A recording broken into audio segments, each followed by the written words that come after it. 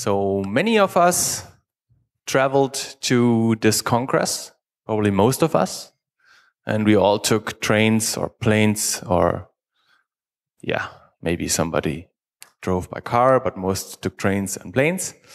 And have you guys ever wondered about the infrastructure of those travel booking systems? Even more interesting, have you ever thought how secure those systems are? Karsten Nohl and um, Nemanja Nikodijević. Uh, yeah, Carsten has a really nice record of uh, security research. Um, he had talks about GSM protocols, um, and last year he had his talk about payment system abuse, which was really interesting. Together with Nemanja, he will show us his research on travel booking systems. And probably we will find out how we can get home free. Please give a really, really warm welcome to Karsten and Nemanja.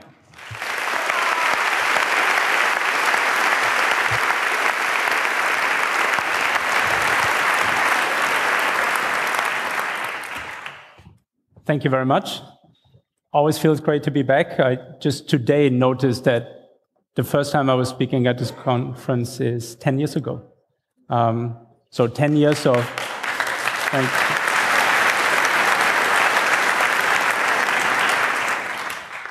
Ten years of looking at ten different legacy systems and finding vulnerabilities in all of them so far. Um, a lot of them were around RFIDs or mobile protocols. This time we're looking at something completely different: travel booking systems and vulnerabilities in there. Um, relative to some of the other talks uh, we have been giving, this will have less hacking in it, not because we lost our interest in hacking, but because much less hacking was actually needed to exploit vulnerabilities here.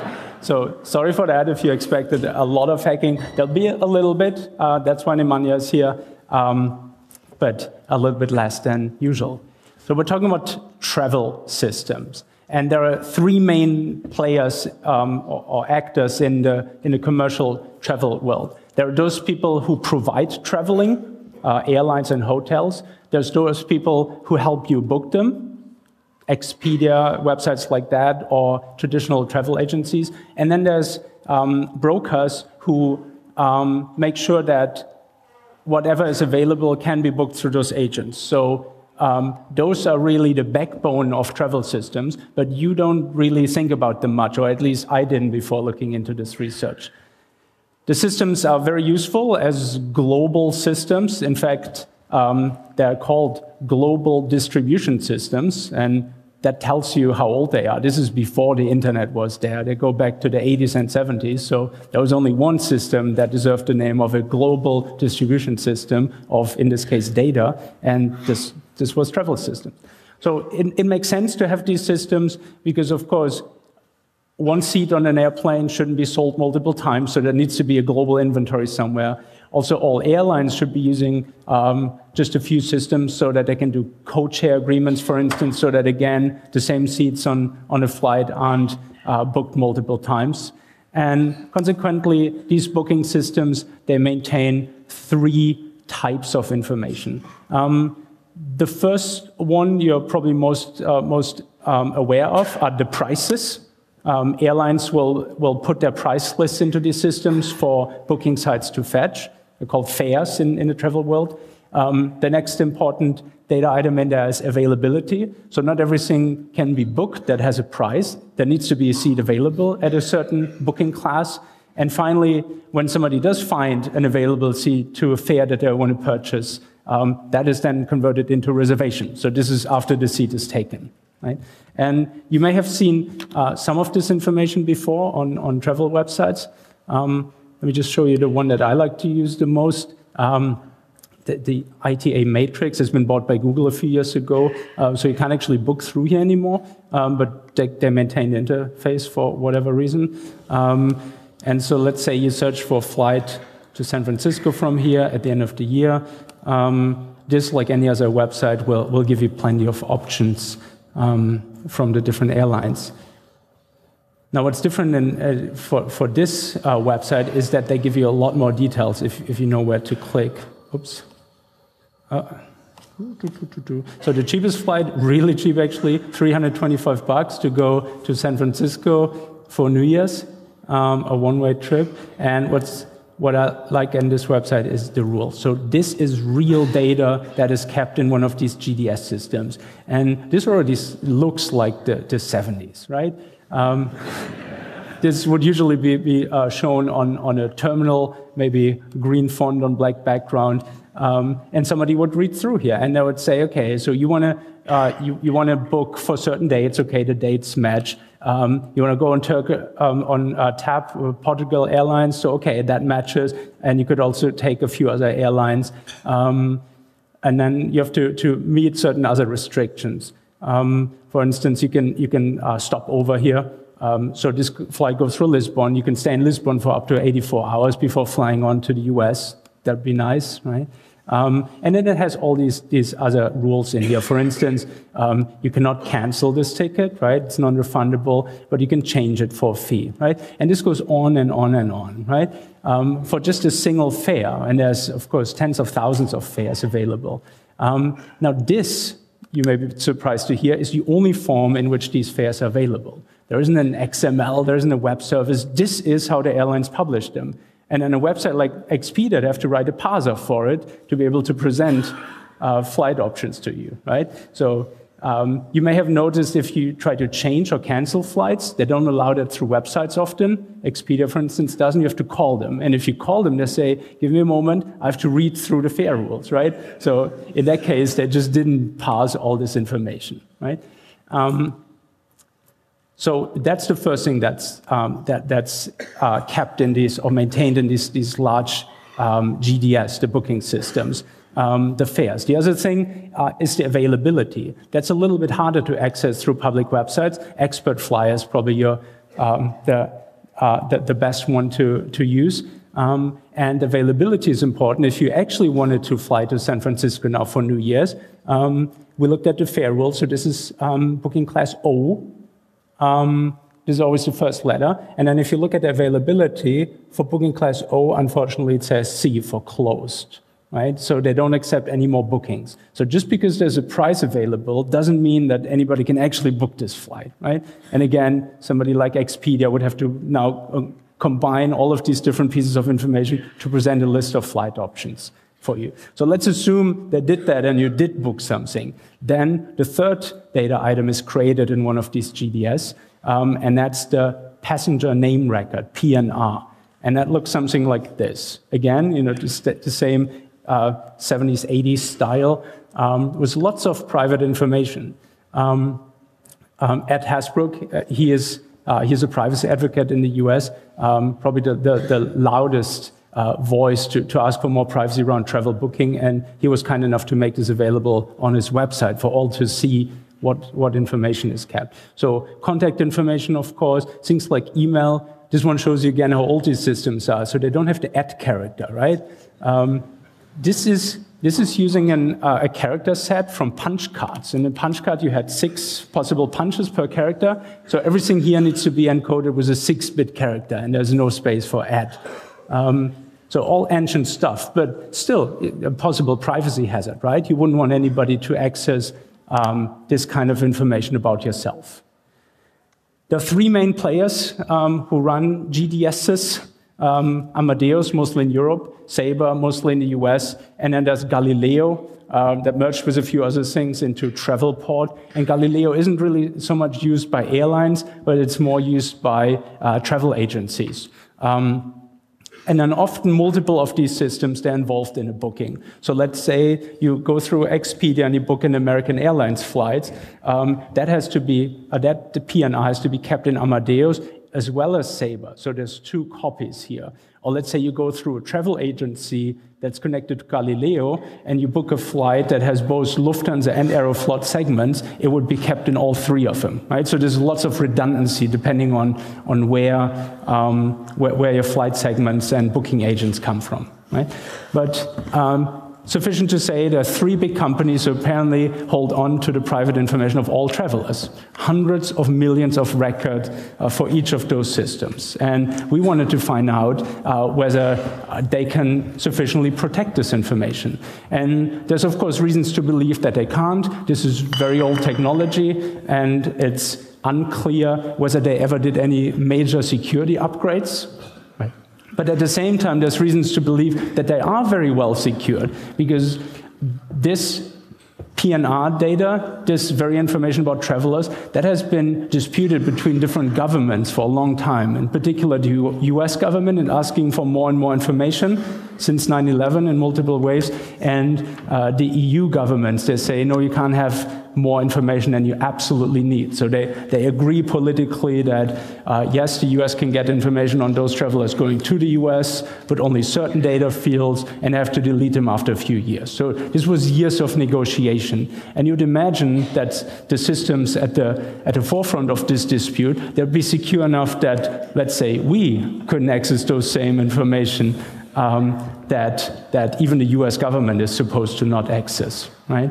So we set out to, to answer these simple questions. Do these GDS, do they have normal, basic security, right? Do they um, constrain access? Do they authenticate users well? Do they protect through rate limiting from, from web attacks? Um, and do they lock to be able to detect any possible type of abuse, right? And we'll, we'll go through, through each of them to see where those systems stand. Let's start with access control. And this is just drawing from, from public sources. Uh, so again, Ed Hasbrouck, this privacy advocate uh, in California, he has been um, the loudest voice here, saying there's, there's uh, overreach by a lot of players already um, accessing PNR information. So for instance, if you have a booking, let's say a flight booking, Anybody who works at this airline can access your information. But then if you add, let's say, a car reservation to the same booking, anybody who works at a car rental company can also access, let's say, the flight information. And any agent at the at the uh, booking agency that you use uh, can access all of this information. And if you keep adding information, all of these people still have access to it. That's just how these systems grew over time. Um, but that's the first indication to me um, that this was, certainly wasn't uh, built with modern security uh, in mind. Most concerningly, the, the, the people working at or for the GDS companies they have access to everything, absolutely everything, including their support staff, as far as I understand. So these are external companies that help debug the system, and they have access to hundreds of millions of people's um, private information, right? Um, so way too many people have access to way too much information. For instance, if you did an online booking, your IP address is stored there basically forever, well, until the flight is over. But uh, any of these people can now access your IP address, your email address, phone number, and all of this, right?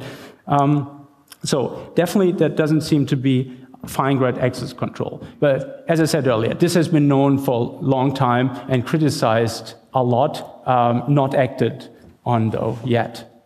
How about authentication? Um, the picture is actually even worse for authentication. Um, and I want to distinguish two different cases here. I want to distinguish professionals accessing records, so people working at travel agencies and airlines. And uh, as a second case, I want to distinguish travelers accessing their own records, like when you check in online, for instance, you access your own record, right? Um, professionals, the way they access it typically is that their agency is connected to one of these GDSs through basically one account. So an entire agency system, or at least an entire location, uses one account. So years ago, somebody typed in some username and password, and that has long been forgotten because locally they use a different access management. Um, a few travel agencies were kind enough to help us in this research, and the access credentials uh, we, we saw them using, they're just terrible. For instance, for one of the big systems that I won't name, um, you need agent ID so that you can get pretty easily. And then the password for the web service, so the modern way of accessing this is WS for web service, and the date on which the password was created, right? So even if you have to brute force 20 years, right? How many possible dates does a single year have? Times 20. This is ridiculously low entropy for an account that's supposed to protect information of millions of people, if not more. Right? Um, now, this is the best authenticator that we've found in, in these systems. Um, it gets worse with travelers accessing their own information because there they just simply forgot to give you a password. Not even a terrible password like this, there just isn't one. Um, and what they use instead is the booking code. Uh, PNR locator, sometimes called, right? I'll, I'll call it booking code. It's a six digit code, right? That when you check in online, you need that code. Right? And you only need that code and your last name. So you would imagine that if they, they treat it as a password equivalent, then they would keep it secret like a password, right? Uh, only they don't, but rather print it on every piece that you get from, from the airline. For instance, on every piece of luggage, you have your last name and a six digit code. On your boarding pass, um, it used to be there and then it disappeared and then these barcodes showed up, right? So it's inside the barcode. If you decode the barcode, there's the PNR in there. Um, I, I erased it here because this is still for valid booking. Um, so you have this, these six digit codes um, printed everywhere, and you can, you can just find them on pieces of, of scrap at the airport, right? Certainly, these, uh, these tags you find all over, but also people throwing away their boarding passes when they're done. And this is supposed to be the only way of authenticating users. And we'll, we'll show you in a minute how, um, uh, what kind of abuse is possible through that. Um, but let's first think about where, where else you could be able to, to find these PNR codes. Could, could, could it get any worse than somebody printing your password on a piece of paper that you throw away at the end of your journey? Of course, the internet can make it worse, right? And what better technology than to worsen the security problem than Instagram? So on Instagram,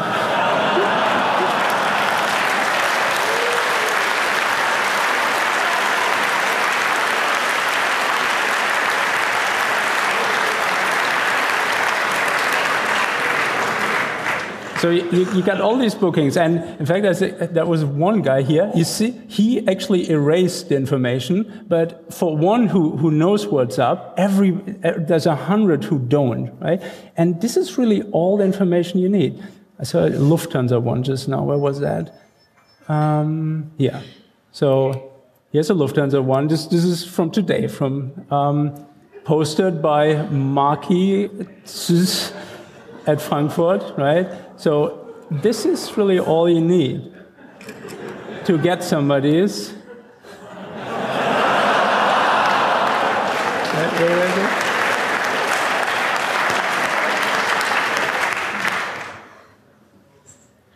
Let's see if this works. Yeah, sure enough. So, Marky M on Instagram is apparently Marketa Motolova, and this is her booking reference.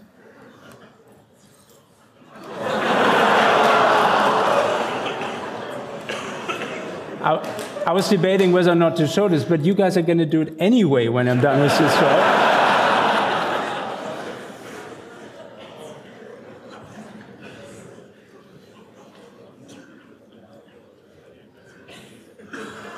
Okay.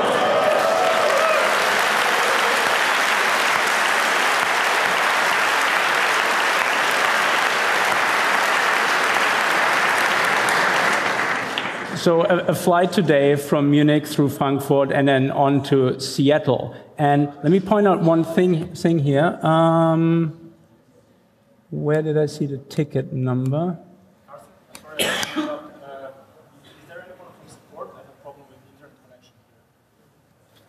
Um, just use mine.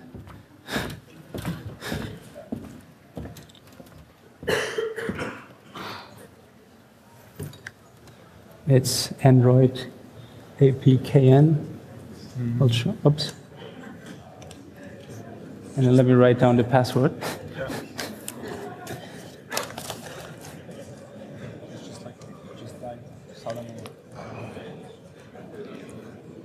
Okay. All right. Um,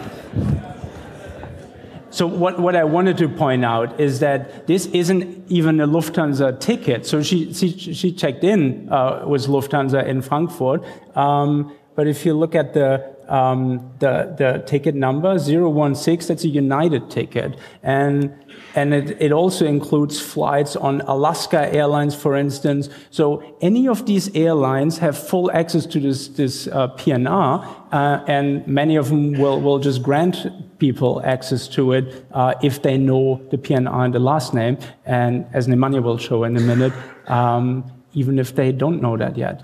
Um, so um, to, to, recap for the moment, um, airlines give you a six-digit password that they print on, on all kinds of pieces of paper and that you will post on, on uh, Instagram, right? And wh why shouldn't you? Everybody else does too, apparently. 75,000 people at least over the last couple of weeks. Um, so the, the authentication model here is, is severely broken too. Um, and what kind of abuse arises from this? Of course, you can now use this PNR, uh, log in on Lufthansa as I've just done, or a more generic website um, like Check My Trip, and look up people's uh, contact information at the very least. So there's always an email address in there. Uh, there's usually a phone number in there if in Lufthansa you click on, I want to um, change my booking, uh, probably will ask you for your payment information and pre-fill the postal address for that. So you get somebody's postal address that they used for the booking. Um, passport information, visa information. If you travel to the US, as she does, there's definitely passport information in the PNR. All of this information is now readily accessible, right? Um, now, so far, there was zero hacking involved, right? Um, that's why we have Nemanja here. We'll show you some, some actual um, hacking uh, to get even deeper into these systems. Can we switch the screen? Yeah.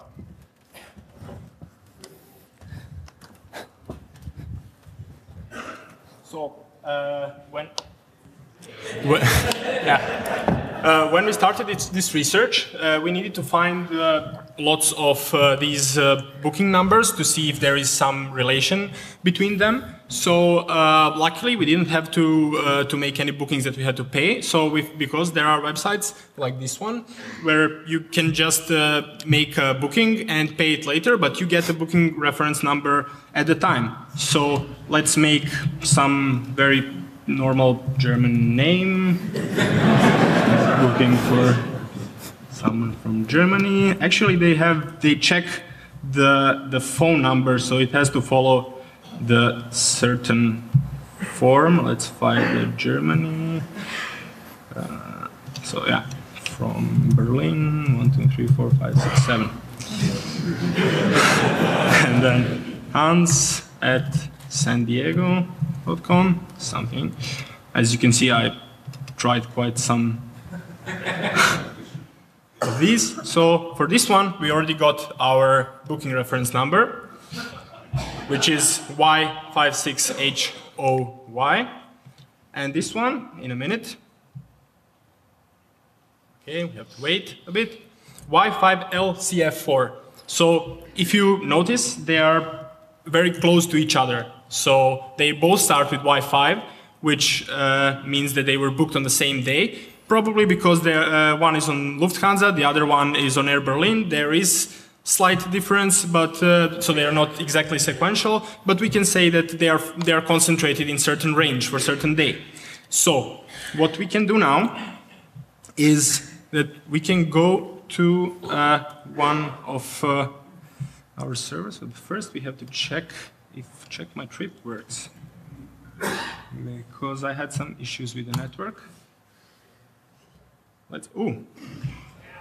okay, so this is a bit unexpected. So, uh, so we will have to skip this part where we actually look for uh, for Carmen Sandiego in one of our bookings, but uh, yeah. Well, th this is a side effect of responsible disclosure, right? So you yeah. tell a company that on this day you will do that and that um, thing to that website, and it just either blocked the IP ranges here or just took down the website, which they have done a few few times before, right? Um, but so what what you can do is say again. Actually, uh huh. Actually. Uh I, I think the whole website is, is turned but off. What we can demonstrate, I think, is that if we go with uh, this booking number to Air Berlin website, and then type last name Miller. And actually, because it's 6-bit encoding, it has to be UE, no umlauts allowed. Mm-hmm. So, select all the yeah. Security. So, see can find this flight. So what the, the, the, part of the demo that you didn't show is just brute forcing these ranges, right? If you yeah. know uh, which ranges are used in a day, you can try them all, or at least we did many times.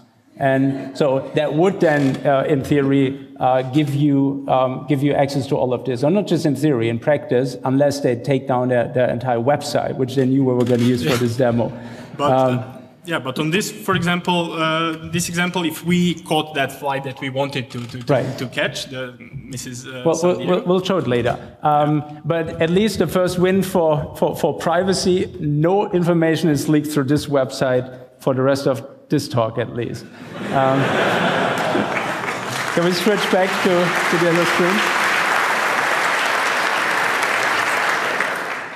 Um, so one thing that you would have noticed had this not just been a flight reservation, but an actual ticketed ticket, it would have given you options to rebook it, to add a frequent flyer number, all of that good stuff. So uh, what's the abuse potential here? So far, we've only talked about privacy intrusion, right? And privacy intrusion is bad enough. Imagine somebody snapping a picture of your luggage. That person has your email address and your phone number right there, right then, right? So but the abuse potential goes uh, much beyond that. Um, for instance, you can fly for free. Um, you can fly for free using different methods. You can find somebody else's booking and just change the date. Um, the ticket, uh, in fact, we, we, can show it a little bit later, that, that we had prepared for this demo.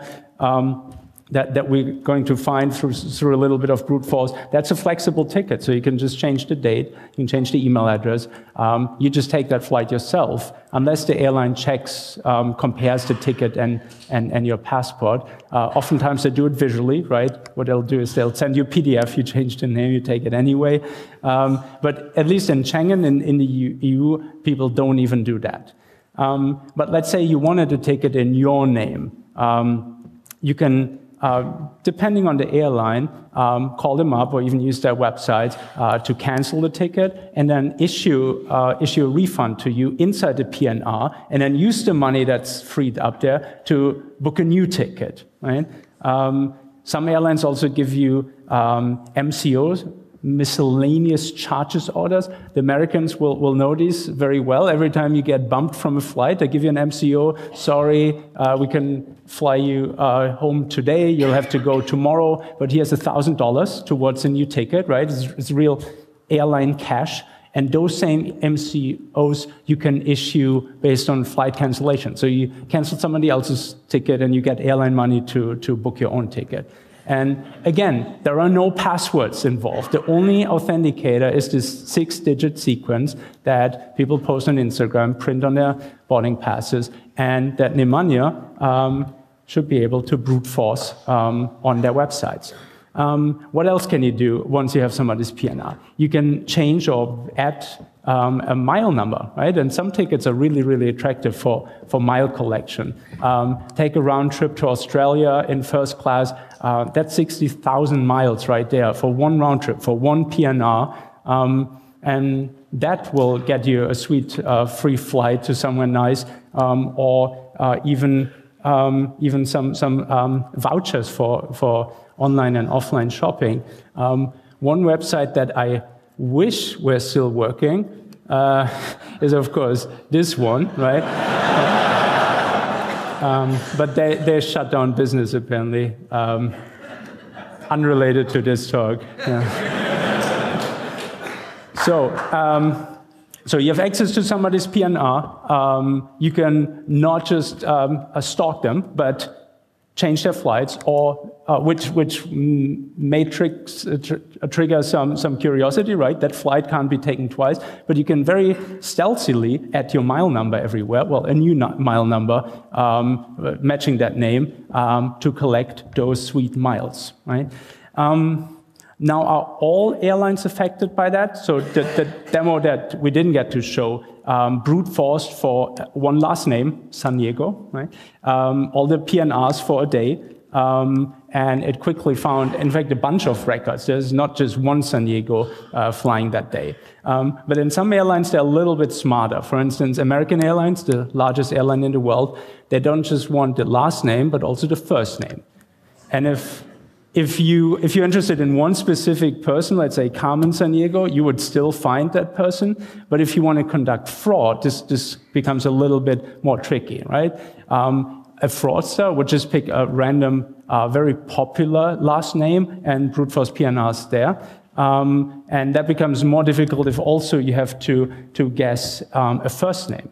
However, even American Airlines, um, those records can be accessed through other websites. For instance, ViewTrip is another generic website so like this infamous Check My Trip that just went offline.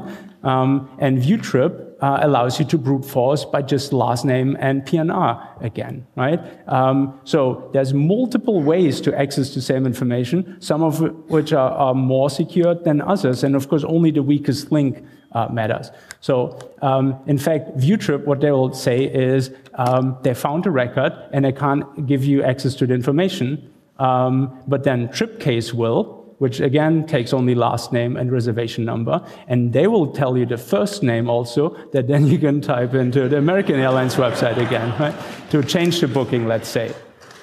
Um, so that there's all these, these, these different ways to access uh, a person's um, information here, and everybody is slightly different. So let's look at the entire universe of, of travel websites, starting with the three big travel providers.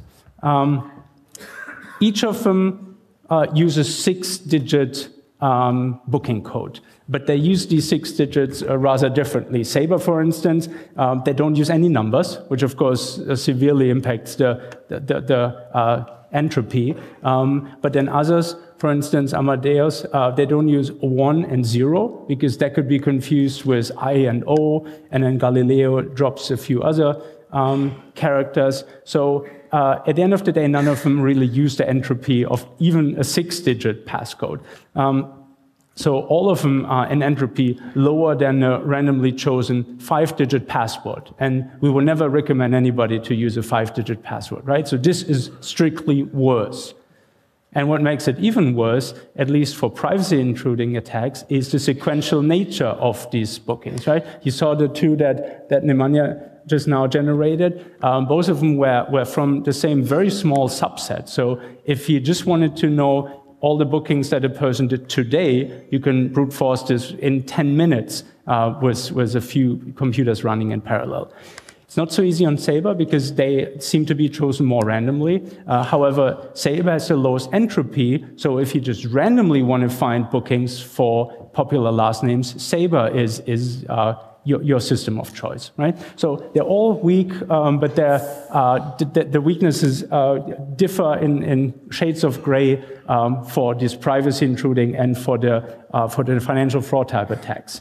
Um, as one example, though, of how easy it is to find these booking codes, um, if you look up a thousand just randomly chosen uh, booking codes in Sabre for the last name Smith, five will come back with current bookings, right? So half a percent of the entire namespace is filled with current bookings for people called Smiths.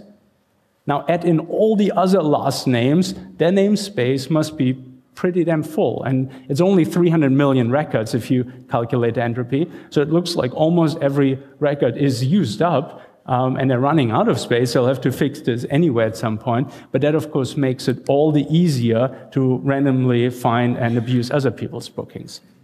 So each of those providers uh, runs a website um, that allows you to access all the PNRs in their system, if you know the PNR and the last name. And uh, one German reporter writing about this, he calls, uh, he calls them the website that you didn't know existed, that you have no use for, but that anyway uh, put your privacy at risk.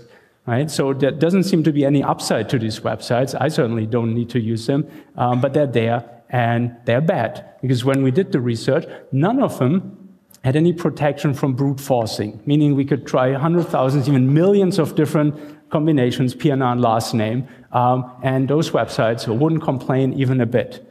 Now, we, uh, we did expose Amadeus to, to uh, way more queries than, than the others. And at some point, they did notice, maybe also because some reporters just asked him for comments on the research.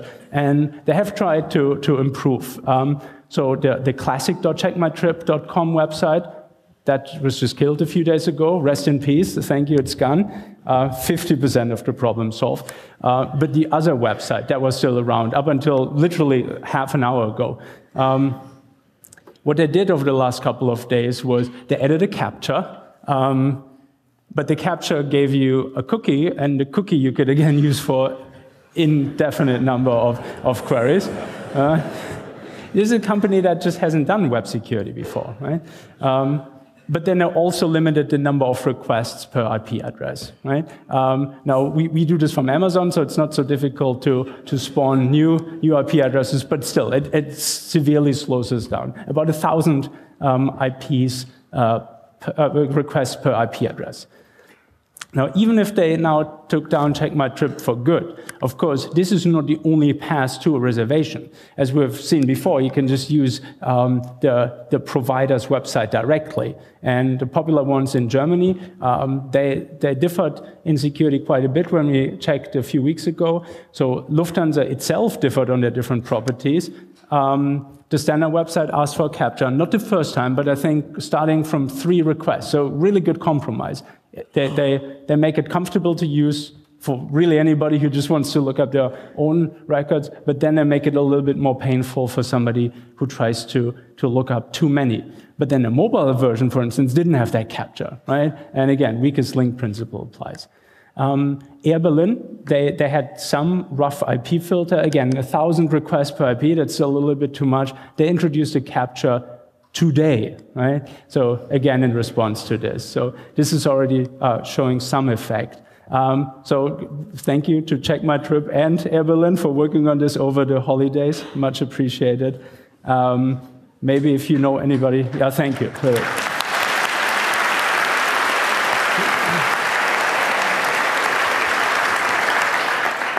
On, on, the other GDSs, um, the situation is, is uh, much worse still. Um, so they're still as brute forceable as they ever were, um, as are the websites, right? Um, except for the, the, little bit of uh, first name uh, extra complication on American Airlines. Really, every, every website we have tried is uh, not protected from brute forcing. And uh, this is surprising to me. I mean, I've uh, in, in, my, in my consulting work, I've, I've never seen a website where not the first pen tester ever uh, looking at it would say, oh, you didn't have rate limiting in it, please add it, and then two days later they had. Um, so for most of this industry, that is yet to happen. So uh, no cookie here either.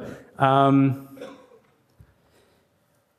let's talk about one more abuse scenario that's um, I consider that very relevant, but that's maybe because in, in my consulting life, I've been dealing with human security uh, for the last couple of years. Um, appreciating that technology is mostly not the weakest link, but uh, the gullibility of, of people working at a company. And the same probably goes for travelers. So imagine a scenario where you made a booking just a few minutes ago, and now that airline, or at least it looks like that airline, sends you an email saying, Thank you for making this reservation. Here's all your booking uh, uh, stuff summarized for you. Please uh, update your credit card information, though the, the booking didn't go through, right?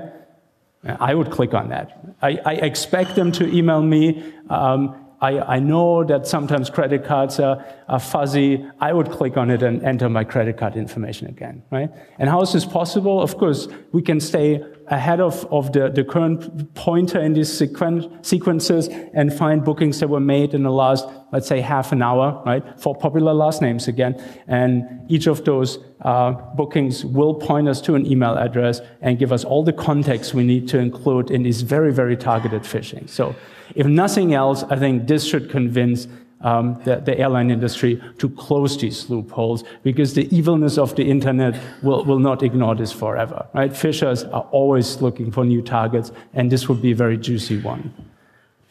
Um, all right, so we looked at um, we looked at the three big GDS uh, now. now. There's a few other players, for instance, SITA. Uh, it looks like on the way out, um, but these two very big airlines, they still use it, so they're certainly still relevant.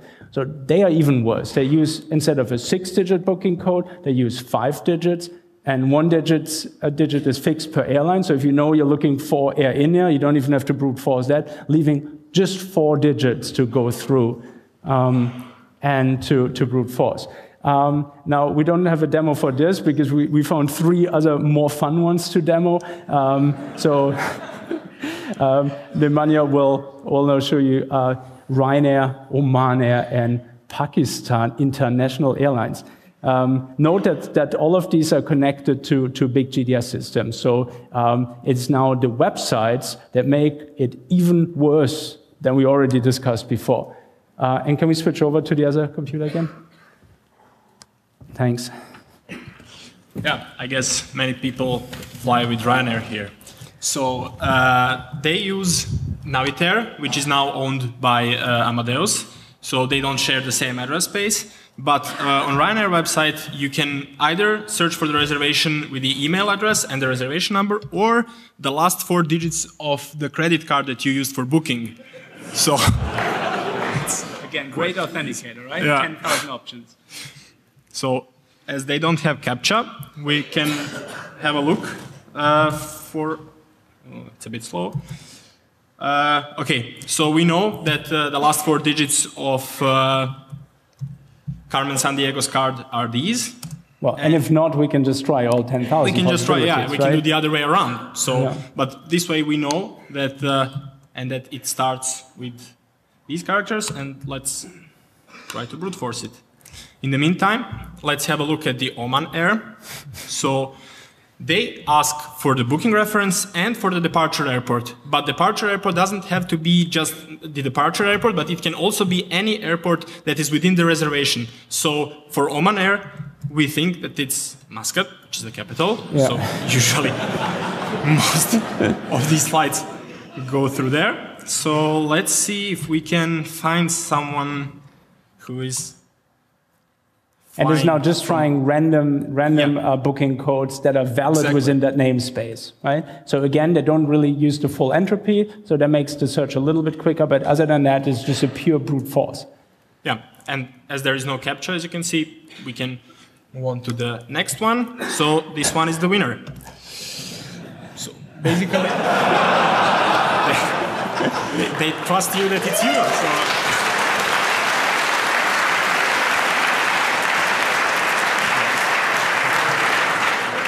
And let's see. Okay, so we already have one for the Oman Air. Ooh, okay. So uh, this is the one. Uh, this is where. Um, okay. That was Ryanair, huh? Yeah. This is the Ryanair, yeah.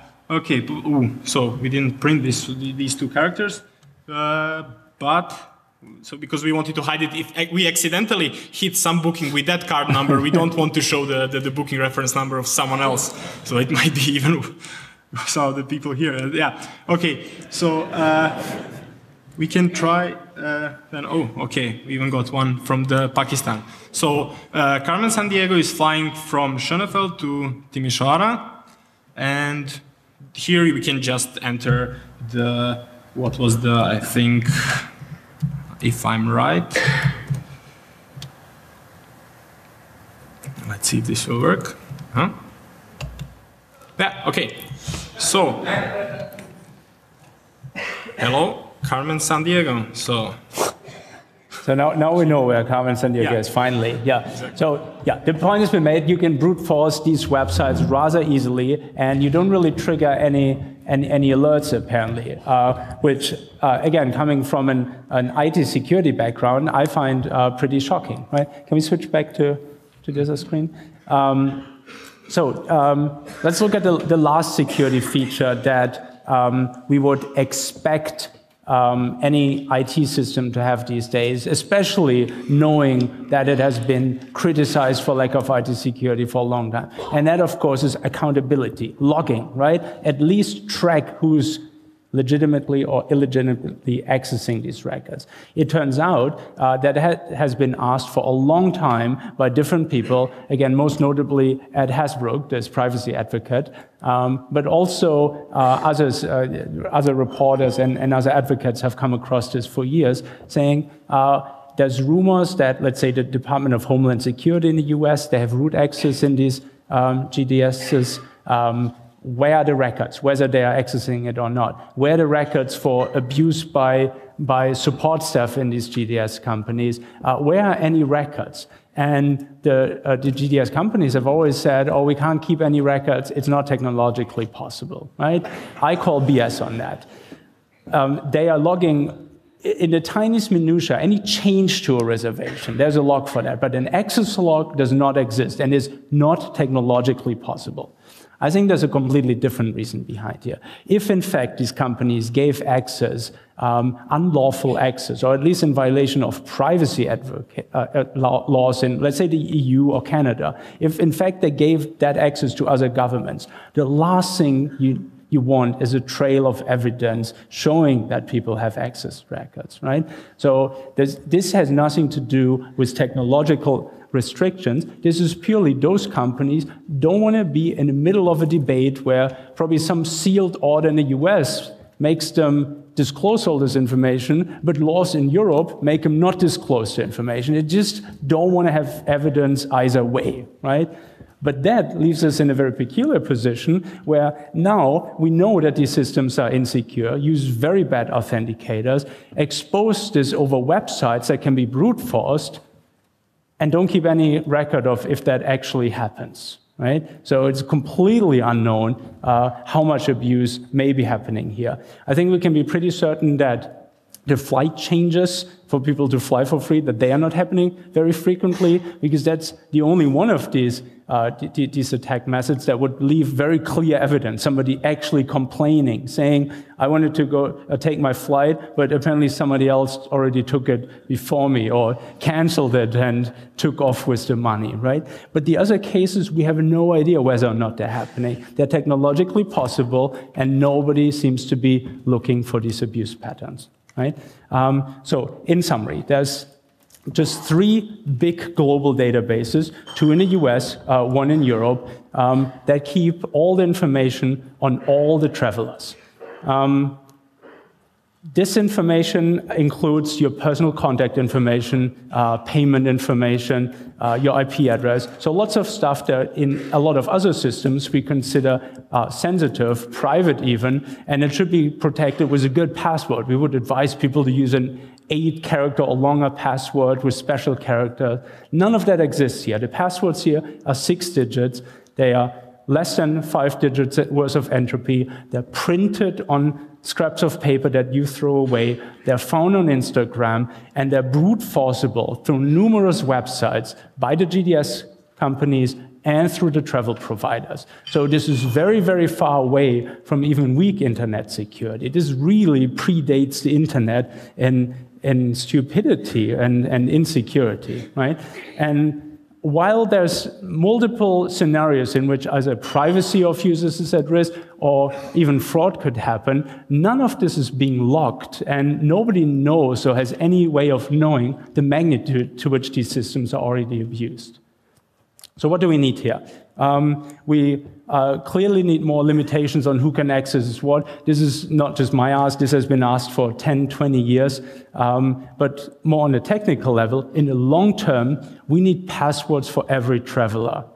You should be able to post a picture of your boarding pass on Instagram without having to worry about somebody abusing it. This is a piece of paper that you will throw away. There should be nothing secret about it. Right? If you want to share it, feel free to somebody else needs to add a password to make that safe again, right? But that's a very long-term goal. These travel companies, they're so interwoven, as we saw today, um, that all of them really have to move at the same time, right? The GDSs have to do their share, um, but then each of, the, of interconnected airlines has to do their share. We saw this one random ticket from, from Instagram. So this was a Lufthansa ticket with some um, Alaska Air components issued by United, right? So at least those three companies have to work together. And how many more different airlines do they have code-share agreements with? So we're talking about hundreds of companies who have to come together and decide we want to introduce passcodes, passwords, whatever you want to call them, uh, for each booking. So that is a, a long-term goal. In the short term, though, at the very least we can expect is for all these websites that do give access to travelers' private information to do the bare minimum of web security. At the very least, some rate limiting. Don't allow us to, to throw millions of requests at your properties and, and give us back uh, honest answers, right? That is unheard of anywhere else in the cloud. Um, but for travel systems who, who claim for themselves to be the first cloud ever, this seems to be very standard, right? And then finally, until all of this can be guaranteed, until there's passwords, and until uh, there is good rate limiting. I think we have a right to know who accesses our records, and there must be some accountability, especially knowing how insecure these systems are today.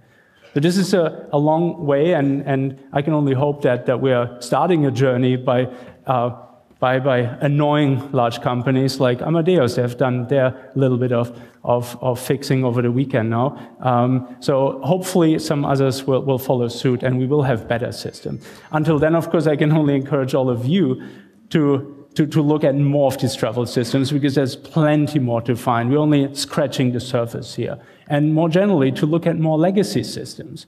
I think we're spending way too much time making some already really good crypto just a tiny bit better, or finding a really good mobile operating system, the next little jailbreak that will be fixed two days later, anyhow. Ignoring all these huge security issues that have been there for many, many years in systems that are a little bit less sexy and riddled with bug bounties uh, than something else that we do spend a lot of time on. So I hope I, I could encourage you um, to do that. Um, I want to just hand out a few thank yous to, to uh, members of, of our team, uh, with, without whom this, this research wouldn't have been possible, and to a few uh, industry experts who, who were kind enough to, to uh, read over these slides and, and provide feedback and help us uh, hopefully not have any major gaps on, uh, on our information. Um, and then to you for showing up in, in such great numbers. Thank you very much.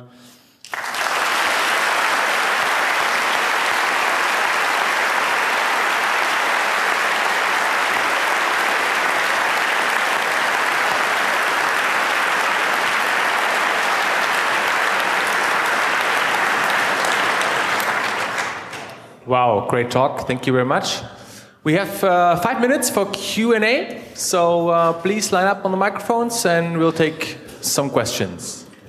First one. Do you have any indication of how secure the systems are on the other end, that the airlines supply their fares into the entire system? So uh, is there any indica uh, indication that those uh, systems might be more secure than on the customer side, or would it be easy to inject uh, a cheap fare, for example, by impersonating the airline with uh, weak passwords?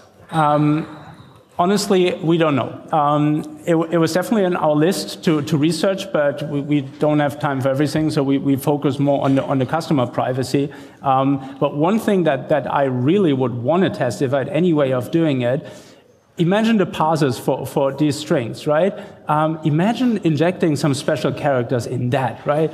Um, so I don't know who creates these strings, and I really maybe I don't want to know. But if anybody does, and you could play with some SQL commands, I, I think um, a lot of websites would, would wake up understanding that on that front uh, they don't do enough security either. Okay, question from uh, the Signal Angel.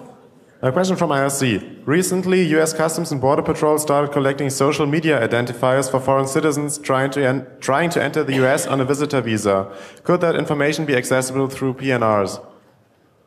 Um, that's a good question. I, I, don't think it would be. Um, one, one, so I, I so yes, they are. they are in the PNR. Yes. Okay.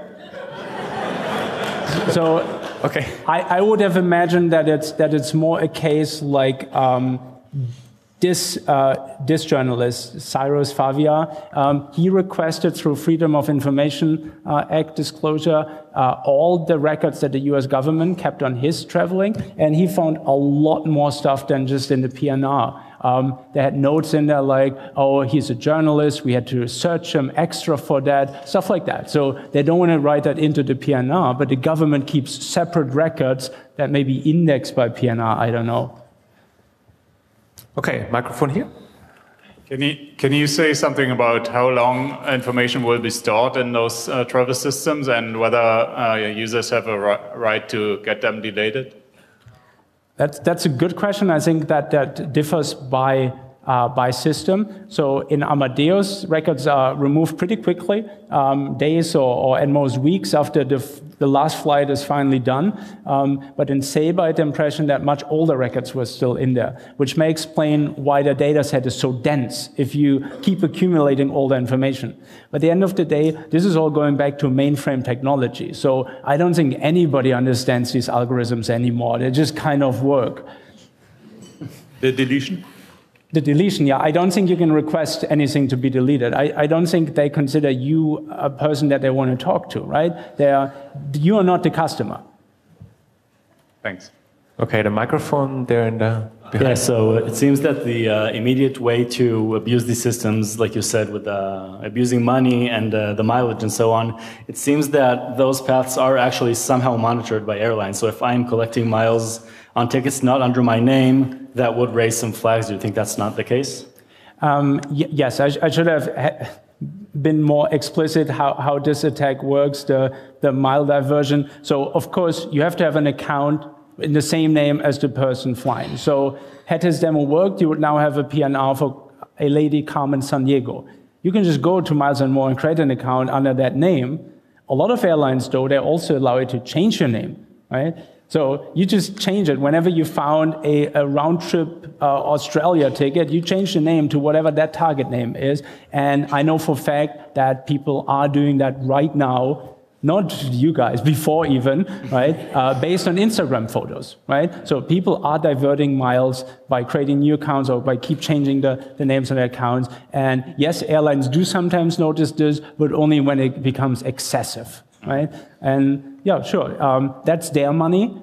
I just hope that it will become so excessive that it's such a big problem that it can't be ignored anymore, and then the privacy issues get fixed in, on the same token, where privacy is never enough to convince a big company. But if you throw in a little bit of fraud, it may be enough.